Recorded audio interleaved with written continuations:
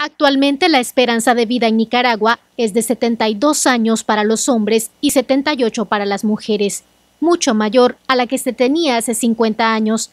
Incluso es más alta que en países como Guatemala, donde los niveles de desnutrición inciden de manera negativa en la expectativa de vida de su población. Ahora mismo en Nicaragua tenemos más o menos unos 15 años que la esperanza de vida ha aumentado. O sea, nosotros tenemos eh, una esperanza de vida mayor que la que teníamos hace 30 o 50 años atrás, que había desconocimiento.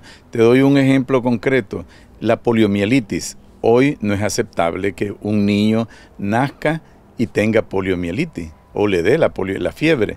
¿Por qué? Porque eh, sencillamente existe la pentavalente que ahí va incluida en la vacuna, va incluida una prevención para ese tipo de enfermedades. Las expectativas de vida tienen mucho que ver con las condiciones sociales o económicas del país o de los países. Por ejemplo, en Europa, en los países desarrollados, las expectativas de vida son mayores, o sea, hay bastante gente vieja.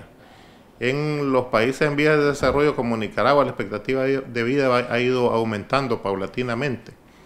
En el tiempo de Somoza, con antes de 79, venía siendo como 58 años. Después subió a 62, ahora se dice que es 72. O sea, una persona espera vivir 72 años en promedio.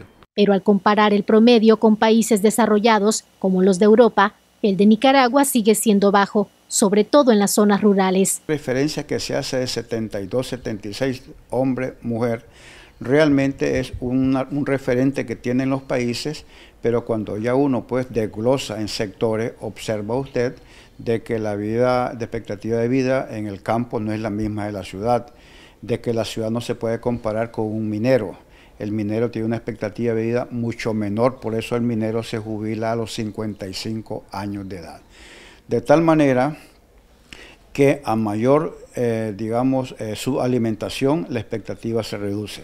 A mejor nivel de vida de las personas, la expectativa de vida se sube. De acuerdo a los expertos, la calidad de vida y los hábitos de alimentación influyen mucho en que la expectativa de vida sea mayor o menor. Un estilo de vida poco saludable puede generar cardiopatías o diabetes, una de las principales causas de mortalidad entre la población. El año pasado se reportó como principal causa de muerte el infarto agudo del miocardio, o sea, infarto del corazón, que esto llegó a 2.870 personas aproximadamente, fueron eh, reportadas como fallecidas por infarto. Y la segunda causa fueron las enfermedades malignas, las neoplasias o cáncer. Y en tercer lugar, la diabetes. Otra causa importantísima, la diabetes fue alto, fue de 2.450 personas más o menos las fallecidas por causa directa de azúcar. Y aparte de eso, las otras son las enfermedades infecciosas, la neumonía. Cuando uno va a los datos duros, observamos que un trabajador de la construcción, un trabajador de la zona franca, un estibador, un trabajador del campo, no llega, no llega a los 72 años, porque no es llegar, llegar por llegar, es llegar con vida digna.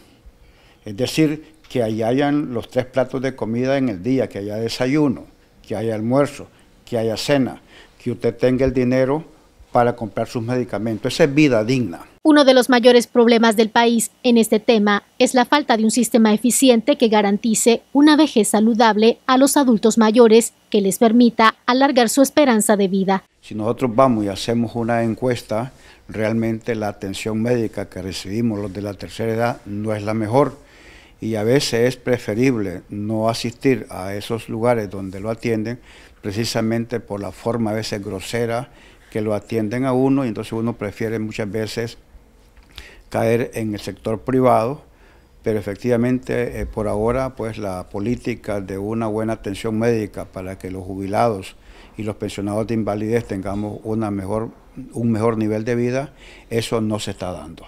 Porque hay que fijarse en la estructura de los principios de, de interés o de foco del Ministerio de Salud o la política de salud de, este gobierno, digamos, del gobierno de hace unos 20 años, han sido tres sectores.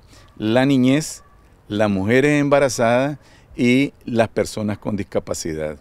Entonces, eso significa que el resto de personas, medio jóvenes, medio, medio adolescentes, eh, maduros, eh, etcétera, no estamos incluidos en la prioridad del Ministerio de Salud. Eso hace que la medicina que haya está enfocada para estos tres sectores que te acabo de mencionar y enfocada a darle servicio o mejor atención a estos tres sectores y no a los otros. Los otros estamos excluidos. La Ley de Seguridad Social en su artículo 133 y el decreto 237 establecen que los pensionados por vejez, invalidez y discapacidad tienen derecho a la asistencia médica sin que se les deduzca cuota de sus respectivas pensiones. Walquiria Chavarría, Post TV.